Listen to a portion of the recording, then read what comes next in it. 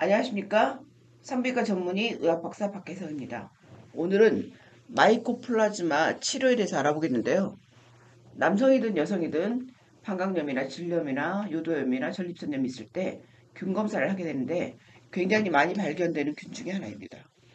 그래서 마이코플라즈마 치료의 2021년 CDC 가이드라인에 대해서 말씀드리겠습니다. 남성이나 여성이 뭐 예를 들어 냉이 있어요. 소변이 좀 불편해요. 뭐 따끔거려요. 이런 얘기를 하면 병원에 가면 STD 12종 여러 개를 real-time으로 PCR 검사를 하게 됩니다. 이 균인데요.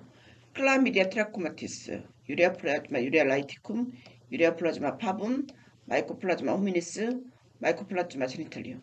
이 네 가지가 Mycoplasma species고요. 그 중에서 Chlamydia trachomatis하고 Mycoplasma genitalium은 파트너가 같이 치료해야 되는 균입니다. 그리고 Gardnerella, 냄새나는 균, 헤르페스 1, 2, 그리고 Neisseria gonorrhoeae, 임질이죠. 그 다음에 트리코모나스. 똑같이 냄새가 나는데 이거는 파트너랑 같이 치료되고 이거는 파트너랑 치료 같이 안 해도 되는 거죠. Treponema pallidum, 이건 매독이고요. Candida, 가려운 균이죠. 이렇게 12가지 균을 보면 이 중에서 성병은 Chlamydia trachomatis, Mycoplasma genitalium, 그리고 헤르페스는 파트너가 있을 경우 같이 치료를 해야 되고요. Neisseria gonorrhoeae, 트리코모나스, Treponema pallidum. 이거는 파트너가 있는 사람은 같이 치료해야 되는 균입니다. 그 중에서 오늘은 특히 Mycoplasma genitalium이 메인이고 이 네 가지가 다 Mycoplasma species이기 때문에 여기 치료에 대해서 알아보겠습니다. 그 중에서 파트너랑 같이 치료해야 되는 이 균에 대해서 특히 더 많이 알아보겠습니다. 생식계에는 여러 가지 균이, 균이 있고 그 중에서 이 네 가지 Mycoplasma hominis, Mycoplasma ge, genitalium, Ureaplasma parvum, Ureaplasma urealyticum이 있는데 이거는 매우 다양한 질병과 관, 관련이 있고 건강한 성인 남녀에서 자주 발견이 되는 균입니다. 무증상인 균이 무증상인 경우가 많습니다.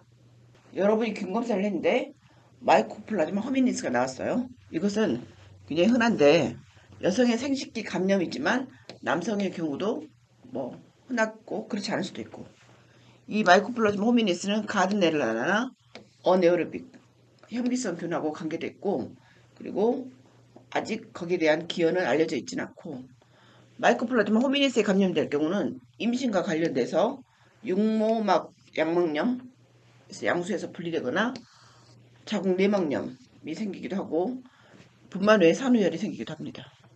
그리고 생식기 감염이 주로 생깁니다. Ureaplasma parvum과 Ureaplasma urealyticum이 있는데 특히 Ureaplasma urealyticum은 남성의 비임균성 요도염 넌 고노리알 유레스라이티스라고 하고 이게 원인이고 전립선, 부고환염, 방광염, 신우신염 그다음에 요로 결석의 원인이 됩니다. 증상이 없는 여성의 자궁 경부나 질의 점막에서 발견이 되고 수직 감염은 엄마가 분만 엄마가 임신했을 때 아기에게 가는 것이 한 18에서 88%까지 가고 이제 그거 그 박테리아에 감염됐을 경우 저체중 출생이 출생이 될 가능성이 그러니까 애가 체중이 적게 태어날 가능성이 많고 자궁 내 감염이 되거나 분만 내 전파돼서 감염될 수 있고 산모에서 감염됐을 경우 폐렴, 균열증, 수막염 같은 신생아병증을 유발할 수 있고 애가 빨리 태어나게 하거나 양막이 빨리 파열되거나 육모막 양막염이나 산후열을 유발할 수 있기 때문에 임신 중에도 굉장히 중요한 감염이고 임신 중에도 치료를 해야 되는 거죠. 네 가지 균 중에서 세 가지는 꼭 파트너랑 치료를 안 해도 되지만 마이코플라즈마 제니탈륨에 감염될 경우는 성병이라고 우리가 진단합니다. 성병은 성관계에 의해서 상대한테 감염시킬 수 있고 만약에 한 명이 감염이 될 경우는 파트너랑 같이 치료해야 되는 것을 우리가 성병이라고 얘기를 합니다. non gonorrhea urethritis 비임균성 요도염의 15에서 20% 클라미디아가 아닌 비클라미디아 요도염의 20에서 25% 지속적이고 계속 재발하는 요도염의 40% 자궁 경부염의 10에서 30% 그러니까 남녀 생식기 감염에 많은 포션을 차지하고 있고요. 남성이 부고환염이나 전립선염이나 불임이 있을 때 여성의 자궁 경부염, 골반염, 애가 빨리 태어난 주산, 자연주산, 불임이 있을 때 이 균이 관계가 있습니다. 그리고 박테리아에 감염된 대부분의 사람들이 증상이 없다는 게 중요한데요. 우리가 모든 성병, 특히 클라미디아도 그렇고 이것도 증상이 없기 때문에 빨리 발견이 안 되고 이런 합병증이 생겼을 때 나중에 알게 되는 경우가 많기 때문에 예방이 어렵다는 거죠. 그래서 검사를 하는 수밖에 없겠죠. 이 마이코플라즈마 생식기 감염은 임균보다는 더 많은 성병을 유발하고 클라미디아가 가장 많고 그 다음에 마이코플라즈마 제니탈륨이 두 번째로 흔한 성병입니다. 생식기 감염률은 미국 젊은 남성의 0.4%, 네덜란드 젊은 사람의 4.5%, 스웨덴에서 6.3%가 점점 이 균도 점점 이 균도 많아지고 있습니다.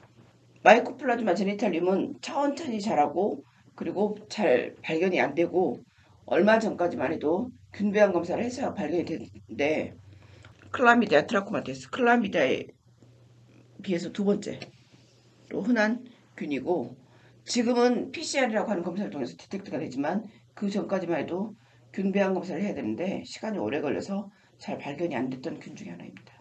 마이코플라즈마 제니탈륨은 골반염이 없는 여성보다는 있는 여성한테 그리고 자궁 경부나 자궁 내막에서 자주 확인되고 그리고 유병률은 골반염이 있는 경우에서 4에서 22% 산후 골반염에서 60%, 60%까지 보고되고 있습니다.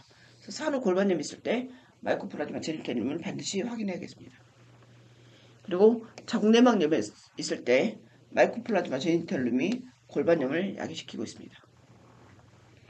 그리고 마이코플라즈마 제니탈륨은 어, 남자의 성 파트너를 가진 남성의 직장, 항문 섹스를 하게 되겠죠. 여기서 1에서 26% 그리고 그런 여성과 관계를 했을 때 3%에서 보고를 하고 있고 직장에 감염이 됐어도 항문이나 직장에 감염됐어도 무증상이고 그리고 인두, 구강성교 했을 때 이것도 어, 검출은 되고 있습니다. Mycoplasma genitalium은 요도염에서 두 번째로 흔하기 때문에 요도염이 있거나 잘 치료가 안 될 경우 반드시 Mycoplasma genitalium을 고려를 해야 되고 그 다음에 Mycoplasma genitalium이 어, 중요한 이유고 또 걱정되는 이유가 항상 항상 이제 내성이 있는 경우가 많아요. 실은 이게 가장 치료가 잘 안 되고 걱정되는 것 중에 하나입니다. 마이코플라즈마 제니탈륨에 쓸 수 있는 항생제가 금방 내성이 생기거나 그 치료가 잘 안 되고 다시 재발하는 경우가 많습니다. 특히 자궁경부염이 계속 지속되거나 클라미디아나 임질에 대해서 항생제를 썼는데 반응하지 않거나 이럴 때 어, 그런 여성에게 마이코플라즈마 검사를 제안하고 있습니다. 마이코플라즈마 진단은 어떻게 하냐?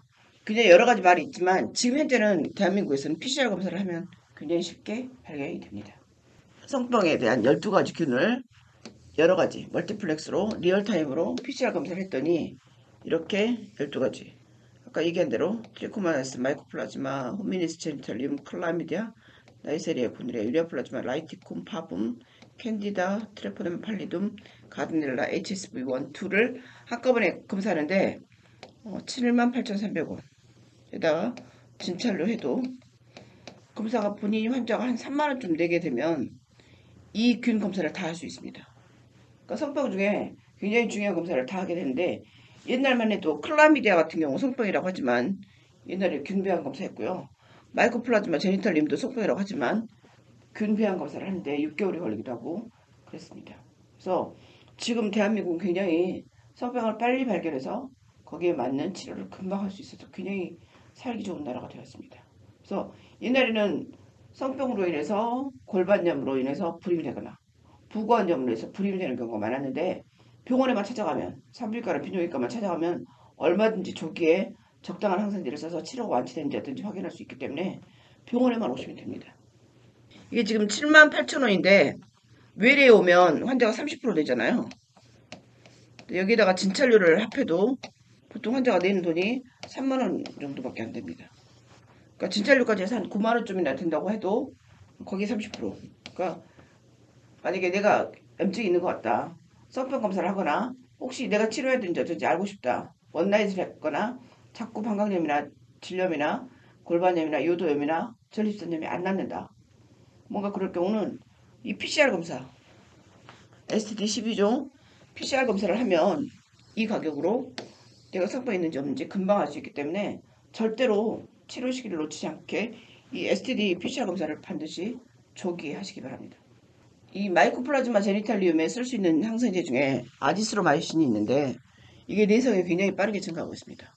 그래서 치료 실패율과 높은 상관관계가 있기 때문에 이 마크로라이드가 아지스로마이신 얘기하는데 마크로라이드 내성이 있을 경우 미국이나 캐나다 서유럽에서 그리고 호주에서 이 내성이 이렇게 많습니다. 44에서 90%. 그러니까 항생제를 쓴다고 해도 치료가 안 된다는 거죠. 이 마크로라이드 아지스로마이신에 잘 듣는다. 감수성이 있다 그러면 이 아지스로마이신 1g 투여를 하면 되고 근데 그 치료, 치료를 해도 한 10에서 12%는 내성균이 또 생긴다고 하고 그럴 때 이제 퀴놀론을 사용하게 됩니다. 진단을 할 때 이 Mycoplasma genitalium은 매우 느리게 자라요. 그래서 배양을 할 때 6개월이 소요가 돼요.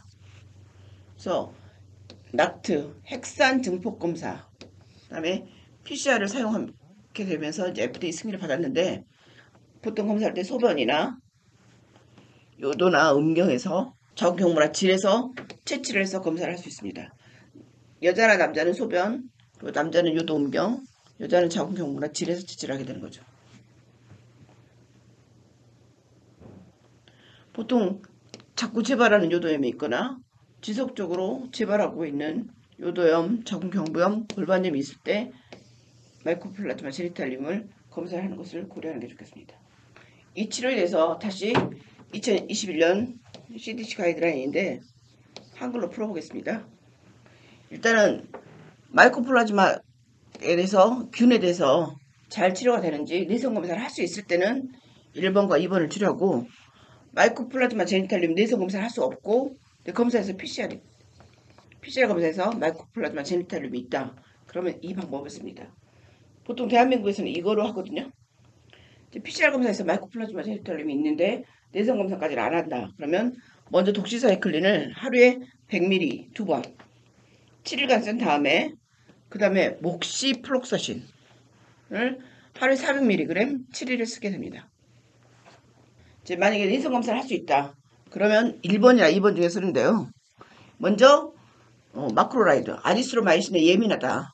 그러면 독시사이클린을 하루에 100mg 두 번 7일 쓰고 그 다음에 아지스로마이신 1g을 쓴 다음에 그 다음 날부터 하루에 500mg을 3일간 그럼 토탈 1g에다 500ml 3번 1.5g이니까 토탈 2.5g을 투여하거나 만약에 검사를 했는데 아지스로마이신에 잘 듣지 않는다. 그러면 독시사이클을 하루에 100mg 두, 7번 100mg 두번 7일을 주고 그 다음에 목시사이클린을 하루에 400mg 7일을 줍니다.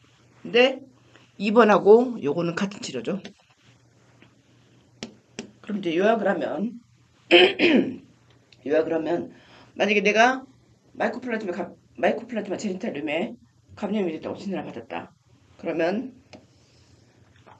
어, 독시사이클린 100mg 아침 저녁 두 번을 7일간 먹은 다음에 어, 목시사이클린을 400mg을 7일 먹 게 됩니다. 그러니까 이 치료보다는 이 치료를 더 권장하는 거죠. 왜냐면 이 아지스로마이신의 내성이 굉장히 많고 그래서 이 내성을 검사할 수 없다 보면 이 치료를 하게 됩니다. 만약에 독시사이클을 썼는데 치료가 안 돼요. 그러면 아지스로마이신이 치료가 필요한데 아지스로마이신의 내성이 50%가 있기 때문에 그럴 경우는 7에서 14일 동안 목시 플록사신을 400mg을 쓰게 됩니다. 목시 플록사신의 치료율은 보통 초기 보고서에서 한 100%, 그러니까 별로 내성이 없다는 거죠. 그래서 이 마이코플라즈마에 대해서 항상 이제 내성이 가장 문제인데 그 대안으로 요즘 목시 플록사신을 사용하게 됩니다. 이렇게 어, 치료에 저항하는 때 2단계 치료법 이 치료에 권장되는데 이럴 때 90% 치료를 입증했습니다. 그러니까 독치를 쓰고 아지스로를 쓰거나 아니면 독시를 쓰고 목시플록사신을 쓰거나 이렇게 2단계 요법이 했을 때 치료율이 높아진다는 거고요.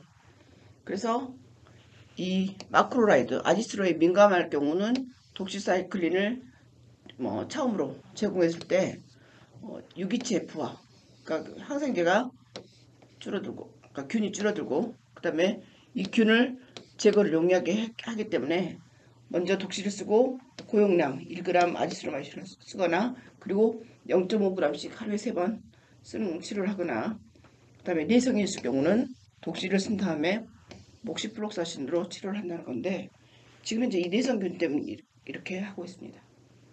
마이코플라즈마 제니탈림을 치료한 다음에 한 3주 후에 다시 검사를 해서 치료가 됐는지 내성균이 있는지 확인을 하는 게 좋고요. 만약에 치료 실패했다. 치료한 다음에도 계속 양성이 나온다. 그러면 전문가의 상담이 필요하고 치료 실패의 경우 미노사이클린을 사용하는 것에 대해서 데이터가 있지만 아직은 제한적입니다. 14일간 독시를 100mg 하루에 두 번 썼을 때 이게 이제 골반염 치료인데 이 치료법은 마이코플라즈마 제니탈륨에는 효과적이지 않다고 합니다.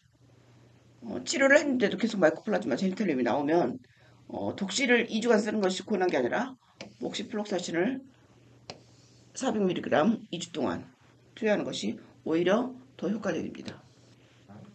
그리고 목시사액 그리고 마이코플라즈마 제니탈륨이 검출이 계속되면서 지속적으로 요도염이나 자궁경부염, 골반염이 있을 때 목시플록사신으로 치료를 합니다. 이제 Mycoplasma genitalium을 가진 사람의 섹스 파트너 관리인데 남성이나 여성 혹은 남성을 성관계로 하는 남성의 그 파트너에게는 검사를 했더니 이 사람이 감염됐을 때 그 파트너에 감염된 율이 일치도가 그냥 높았습니다. 그러니까 거의 파트너가 감염이 된다는 거죠. 그리고 증상이 있는 Mycoplasma genitalium의 성 파트너는 검사를 해야 되고 그 다음에 양성 반응을 보이면 어, 재감염이 우려가 있기 때문에 반드시 같이 치료를 하는 것이 좋습니다. 같이 치료해야 되죠. 만약 파트너 검사를 안 하거나 불가능하다. 그러면 환자에게 주는 똑같은 항생제를 제공하는 것이 좋습니다. 다시 한번 종합적으로 말하면 마이코플라즈마 제니탈륨에 감염이 됐다. 그럼 치료는 내성 검사를 할 수 있느냐, 할 수 없느냐에 따라서 검사를 하고 가장 흔하게 내성 검사를 할 수 없을 경우는 지금 이 치료 독시 하루에 100ml 두 번 7일, 그 다음에 목시프록사신 하루에 400ml 7일 이 치료를 권하고 있습니다. 어, 성병 검사를 했을 때 굉장히 많은 균이 나오지만 그 중에서 마이코플라즈마 제니탈륨이 클라미디아 다음으로 두 번째로 흔한 균이기 때문에 이 균에 감염됐을 경우 전문의와 반드시 상담하고 파트너도 같이 치료하시는 게 좋겠습니다. 감사합니다.